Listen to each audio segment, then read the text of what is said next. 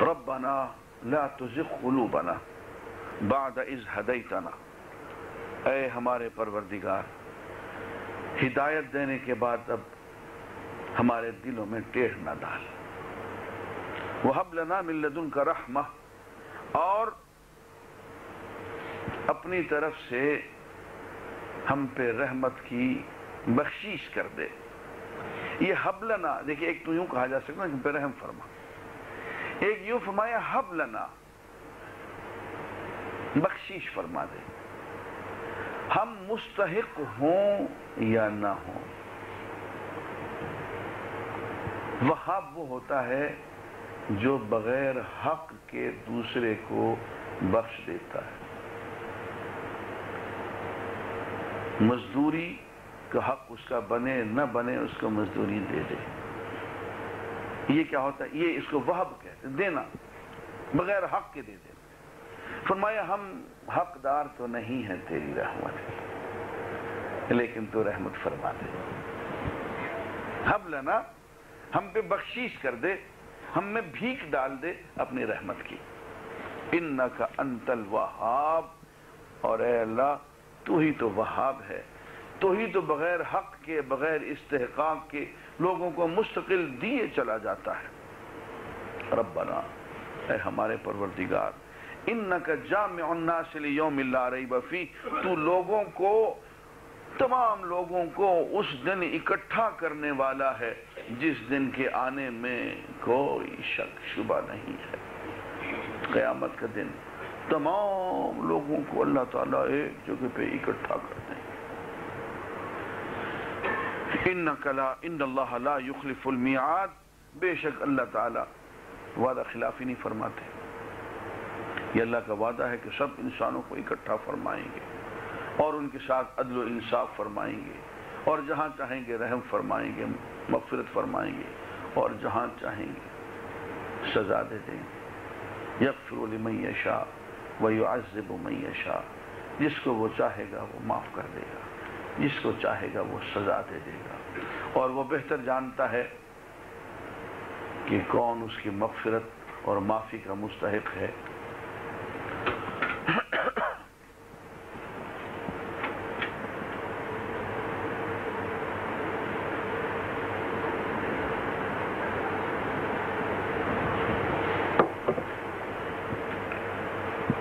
کون اس کی مغفرت اور معافی کا مستحق ہے؟ اور کون عذاب و سزا کا مستحق ہے؟ یہ صرف وہی جانتا ہے۔ اس کا نظام حساب، اس کا کمپیوٹر بڑا ہی حساس ہے سینسٹیو ہے۔ وہ تو ارادوں کو، نیتوں کو، جذبات کو، خواہشات کو ناپ لیتا ہے۔ کس کو کس عمل کا کتنا اجر ملنا چاہیے؟ ایک ہی عمل ہے۔ ایک شخص کرتا ہے، اس کو ایک گنا اجر ہے، دوسرا کرتا ہے، اس کو دس گنا، ایک دوسرا کر، تیسرا کرتا ہے، اس کو اسی عمل کا اجر، سو گنا۔ ایک اور کوئی بلا نکلا اس کو ایک ہی عمل کا اجر، کروڑ گنا ملتا۔ کوئی وجہ تو ہوتی ہوگی۔ کوئی جذبات، کوئی اخلاص، کوئی تڑپ، کوئی کیفیت تو یہ وہ جانتا ہے کہ کس کو کیا دینا ان الذین کفروا، بے شک وہ لوگ جنہوں نے کفر اختیار کیا، لن تغنی عنہم اموالہم ولا اولادہم من اللہ شیئا۔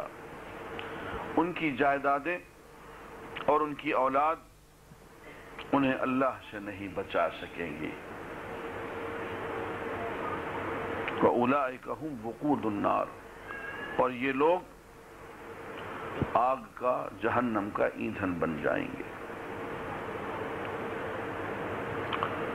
آگے بہت تفصیل سے بتایا جا رہا ہے کہ انسان دنیا میں جو زندگی گزارتا ہے، اس میں اس کی توجہ کا مرکز دو چیزیں ہوتی ہیں، اموال اور اولاد۔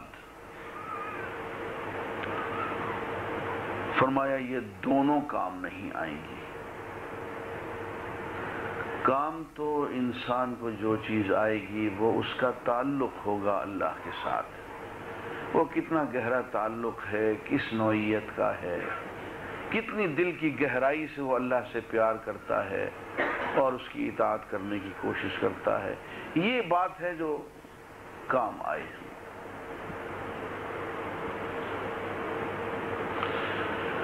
کدأب آل فرعون والذین من قبلہم ہاں. ان کا حال جو ہے ایسا ہے جیسے آل فرعون کا تھا. یا ان لوگوں کا جو ان سے بھی پہلے تھے. کذبو بھی آیاتنا انہوں نے ہماری آیات کو جھٹلایا. فَأَخَذَهُمُ اللَّهُ بِذُنُوبِهِمْ۔ اللہ نے ان کے گناہوں کی وجہ سے ان کی گرفت فرما لی۔ واللہ شدید العقاب۔ اللہ تو بہت سخت سزا دینے والا ہے۔ فرمایا، اموال کی اور اولاد کی بات کرتے ہو، وہ تو آل فرعون کے پاس بہت آل فرعون ایک بہت بڑا لشکر تھا۔ اور اموال، دولت، جاگیریں، کارخانے سرمائے اس کا تو کوئی ٹھکانہ ہی نہیں تھا۔ بے تحاشا۔ میں جب اللہ نے ہاتھ ڈالا تو وہ سارے کارخانے، جاگیریں، دولتیں، تخت، تاج اپنی جگہ پہ پڑے رہے اور اللہ نے سمندر میں غرق کر دیا۔ اس کی جب گرفت آئی تو نہ لشکر کام آیا، نہ دولت، نہ جاگیریں، نہ سرمائے نہ کارخانے کچھ کام نہیں آیا۔ اللہ کی گرفت کے مقابلے میں کوئی کام نہیں آتا۔ دیکھا نہیں ہم نے کیا کیا آل فرعون کے ساتھ۔ قل، اے نبی صلی اللہ علیہ وسلم، ان لوگوں کو، للذین کفروا، جنہوں نے کفر اختیار کر رہا، کر رکھا ہے۔ ان کو بتا دیں۔ ستغلبون وتحشرون الى جہنم وبئس المہاد پہلی بات کہ اس دنیا میں تم مغلوب ہو کے رہ جاؤ۔ گے اسی دنیا میں ستغلبون۔ تم شکست کھاؤ گے۔ جیسے آل فرعون نے شکست کھا لی۔ اور آخرت میں بھی تم ذلیل ہو جاؤ گے۔ تمہیں اکٹھا کر کے جہنم میں جھونک دیا جائے۔ بئس المہاد برا ٹھکانہ ہے۔ یعنی کفار قریش سے کہا جا رہا ہے، اس وقت یہود سے کہا جا رہا ہے کہ درست کہ تمہارے پاس اموال اور اولاد، فوج کے جتھے، یہ سب زیادہ ہیں تمہارے پاس۔ لیکن تم آل فرعون کا انجام نہیں دیکھ رہے تم سے تو زیادہ تھے وہ۔ جو ان کے ساتھ ہو گیا وہی تمہارے ساتھ ہوگا۔ دنیا میں وہ شکست کھا گئے، ہی سب سامنے ڈوب گئے اور آخرت میں جہنم کا مزہ چکھا گئے قد کان لکم آیت فی فئتین التقطا اور دیکھو، تمہارے لیے ایک نشانی ہے، اس پر غور کرو۔ ان دو گروہوں میں جو مد مقابل ہوئے، آپس میں ٹکرائے غزوہ بدر میں۔ فئت تقاتل فی سبیل اللہ، وَأُخْرَى كَافِرَةٌ يَرَوْنَهُمْ مِثْلَيْهِمْ رَأْيَ الْعَيْنِ ایک گروہ اللہ کے راستے میں جنگ کر رہا تھا، مسلمانوں کا گروہ۔ وَأُخْرَى كَافِرَةٌ اور دوسرا گروہ کفار کا تھا۔ لیکن ہوا کیا؟ اللہ نے ایک عجیب کام کر دیا۔ یرونہم کفار جب مسلمانوں کو دیکھتے تھے، مثلیہم رأی العین۔ تو مسلمان ان کو اپنی تعداد سے دگنے نظر آتے۔ تھے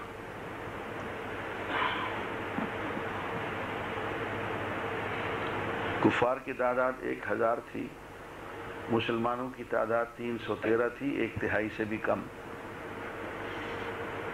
لیکن جب وہ لشکر کو سامنے دیکھتے تھے مسلمانوں کو، تو ان کو کلیجے منہ کو آتے تھے کہ یار یہ تو دو ہزار کے لگ بھگ ہیں۔ یہاں سے پتہ چلا کہ جنگ جو ہے وہ حوصلے کی بنیاد پہ لڑی جاتی ہے۔ اسی بات پہ ان کا حوصلہ ٹوٹ گیا۔ کہ ہم تو سمجھ رہے تھے کہ یہ چند لوگ ہوں گے، تھوڑے سے ہوں گے یہ تو ہم سے بھی دگنی فوج سامنے کھڑی ہوئی ہے، ہم کیا لڑیں گے؟ وہیں سے وہ ہمت ہار گئے۔ اور شکست ان کا مقدر بن گئی۔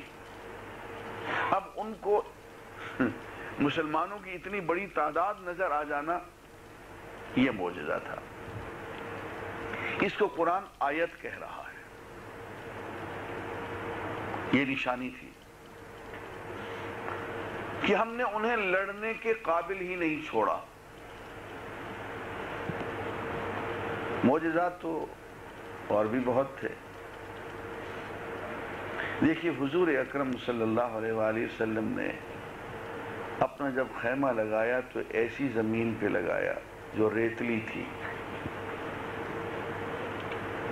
کفار نے چن کے ایسی زمین پہ لگایا جو بہت پختہ تھی تاکہ بھاگ دوڑ میں چلت پھرت میں آسانی ہو۔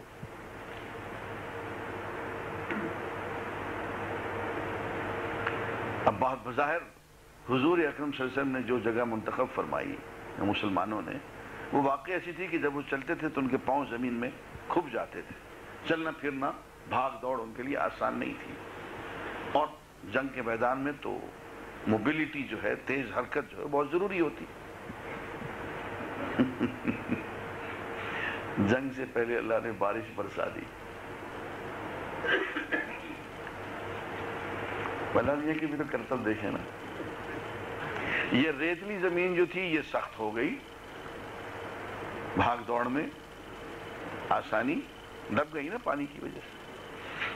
اور وہ جو پختہ زمین تھی وہ کیچڑ بن گئی۔ جو بھی پاؤں اٹھاتا تھا منہ کے بل کیچڑ میں گرتا تھا۔ یہ کیا یہ آیات ہیں اللہ کی طرف سے۔ نشانیاں ہیں۔ دیکھنے میں بہت معمولی چیز نظر آتی ہے۔ لیکن جب اس کے نتائج پہ آپ غور کرتے ہیں تو یہ بہت عظیم چیز ہے۔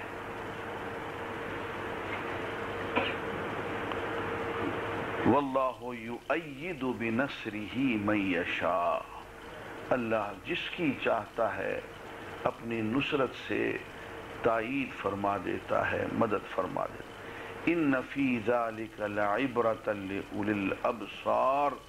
اور اس میں عبرت ہے ان لوگوں کے لیے جو دیکھنے والے ہوں۔ عبرت کے معنی ہوتے ہیں عبور کرنا۔ ایک واقعے سے آپ عبور کر کے دوسرے واقعے تک پہنچے۔ ایک منزل سے عبور کر کے آپ دوسری منزل تک پہنچے۔ نصیحت حاصل کرنے کا رہے اس کا تو یہ نتیجہ نکل رہا ہے۔ ہاں آفس کا تو آگے یہ نتیجہ نکل رہا ہے۔ اس کا تو یہ سبب تھا، اس کا تو یہ سبب تھا۔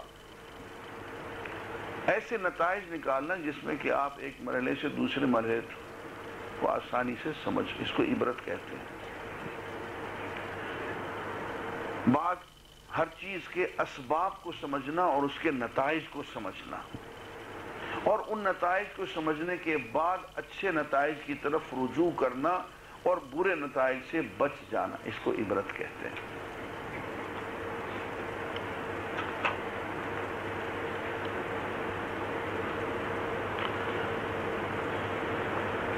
فرمایا، جو لوگ آنکھوں والے ہیں ان کے لیے ان واقعات میں بہت عبرت ہے۔ وہ سمجھ سکتے ہیں کہ یہ سب کچھ کیوں ہو رہا ہے اور کیسے ہو رہا ہے۔